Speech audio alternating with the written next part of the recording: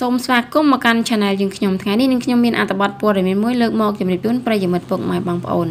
មុននឹងចូលដល់ព័ត៌មានសូមចុច Subscribe Like និង Share ម្នាក់មួយដើម្បីទទួលបាននូវព័ត៌មាននិងចំណេះដឹងថ្មីៗជារៀងរាល់ថ្ងៃ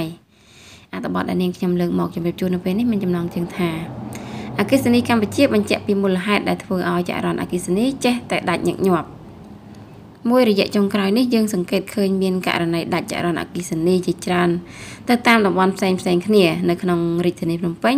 តាក់ទងនឹងករណីដាច់ចរន្តអគ្គិសនីនេះផងដែរ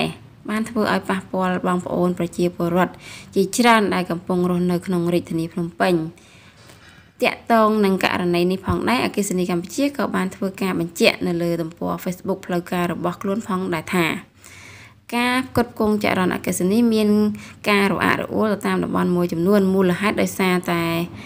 អាកាសធាតុមានការកើនកម្ដៅឡើង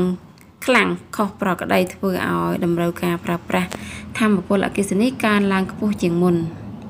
រដូវប្រាំងឆ្នាំនេះកើនកម្ដៅរហូតចាហួតហែងខ្លាំងធ្វើឲ្យស្ថានភាពអគ្គិសនីពុំមានទឹកច្រើនសម្រាប់ដើរម៉ាស៊ីនជួយផលិត អនុភាពអគិសនី ការវិនិយោគលើគ្រប់វិស័យកើនឡើងមានល្បឿនលឿនចាខ្លាំងក្រោយការបោះឆ្នោតឆ្នាំ2018ជាហេតុធ្វើឲ្យតម្រូវការធម្មពលអគិសនីកាន់តែខ្ពស់ជាងមុនបន្ថែមទៀតការប្រឈមមុខនេះព្យាករ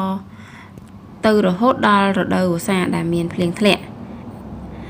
អគិសនីកម្ពុជានឹងជួនដំណឹង នៅកម្មវិធីកាត់ចរន្តជាបន្តបន្ទាប់អាស្រ័យហេតុនេះសូមប្រជាពលរដ្ឋមេត្តាយោគយល់និងអធិស្ឋានចំពោះការរអាក់រអួលក្នុងការផ្គត់ផ្គង់ចរន្តអគ្គិសនីចាសសូមអរគុណសម្រាប់ការតាមដានស្ដាប់របស់ប្រិយមិត្តពុកម៉ែបងប្អូនចាសសូមអរគុណសូមជម្រាបលា